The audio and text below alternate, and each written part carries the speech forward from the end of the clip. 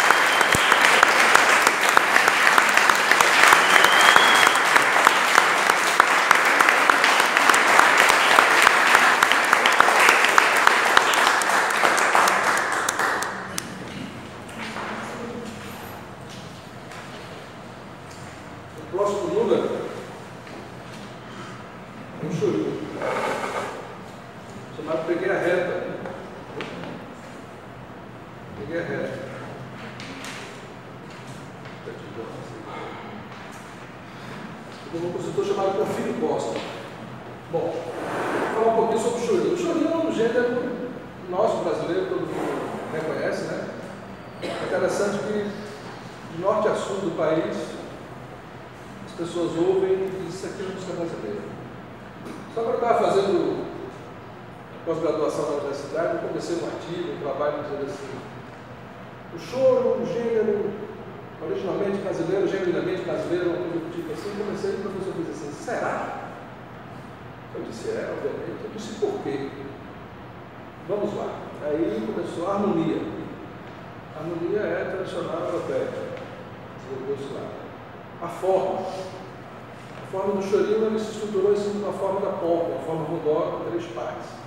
O instrumental, violão veio lá da Europa, o cavaquinho veio do Cedrão, a flauta também europeia, o pandeiro é, é árabe, ou seja, tinha quase nada para dizer que era brasileiro, mas tinha um elemento fundamental, que era a maneira de fazer. E aí é que está tudo.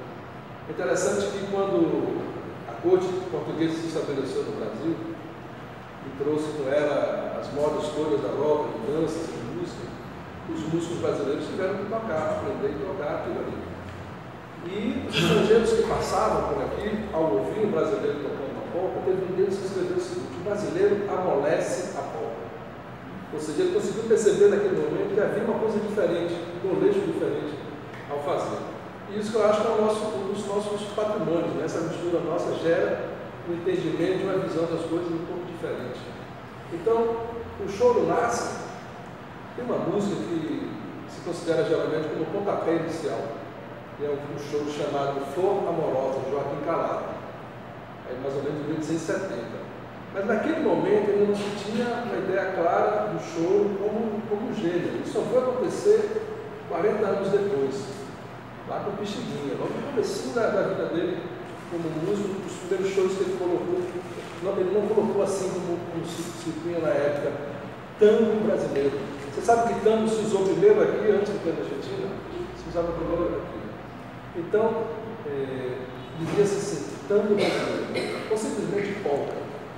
O Pixinguinha foi colocou lá choro, pela primeira vez.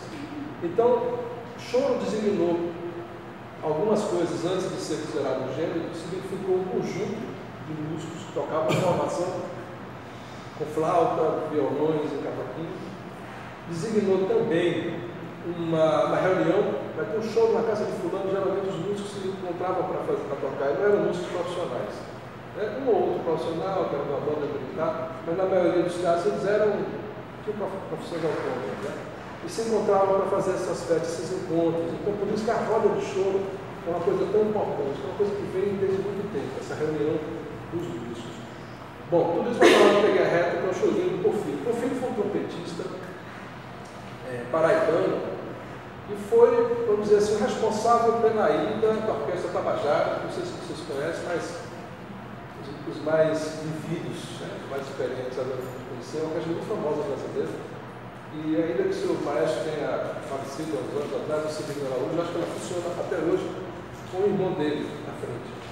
Então, essa orquestra tocava numa rádio de uma pessoa, o Porfírio depois para o Rio, depois para trabalhar, fazer contatos, e aí conseguiu convencer o Assis Chateaubriand, na época que era o dono do, do, do associados, de associados, a levar essa orquestra para lá.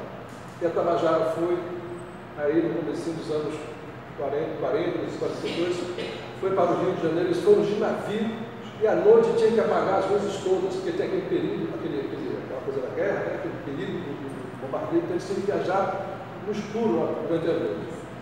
E a orquestra do Rio de Janeiro se estabeleceu lá. O filho era trompetista dessa orquestra, compôs esse show naquela época, foi gravado pela orquestra e ficou um, um grande sucesso. Eu vou tocar aqui no trompete. Uma informação sobre o filho muito interessante e muito triste também é que o filho desapareceu.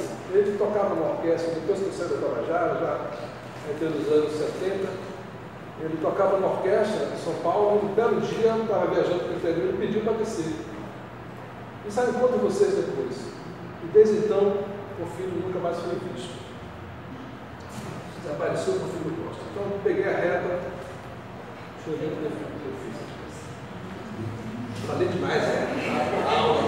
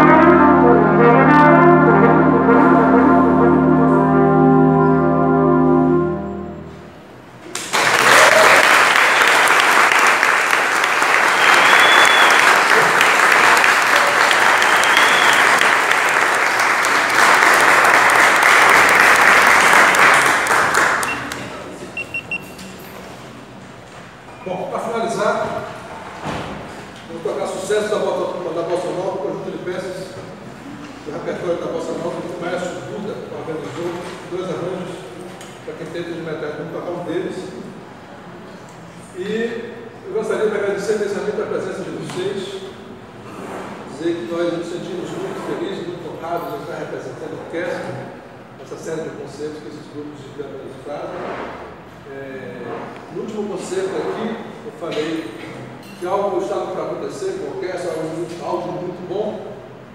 Eu esperava ter notícia para dar para vocês, que nós estamos sabendo, da assinatura do, do, processo de publicização da orquestra. Né? Então, temos muita fé que uma, uma nova, nova era agora começa e vamos lá.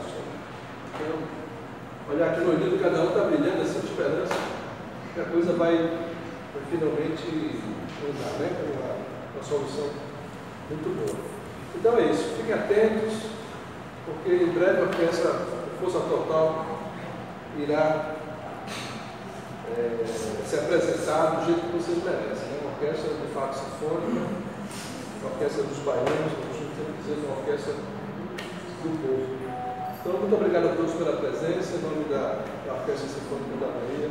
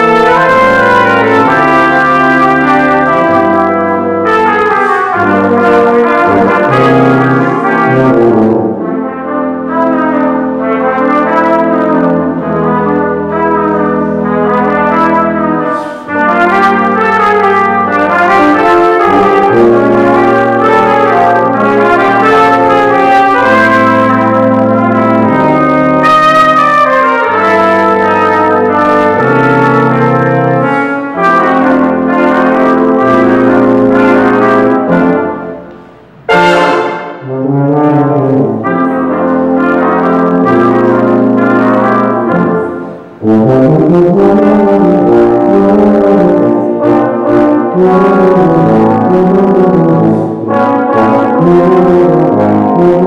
you.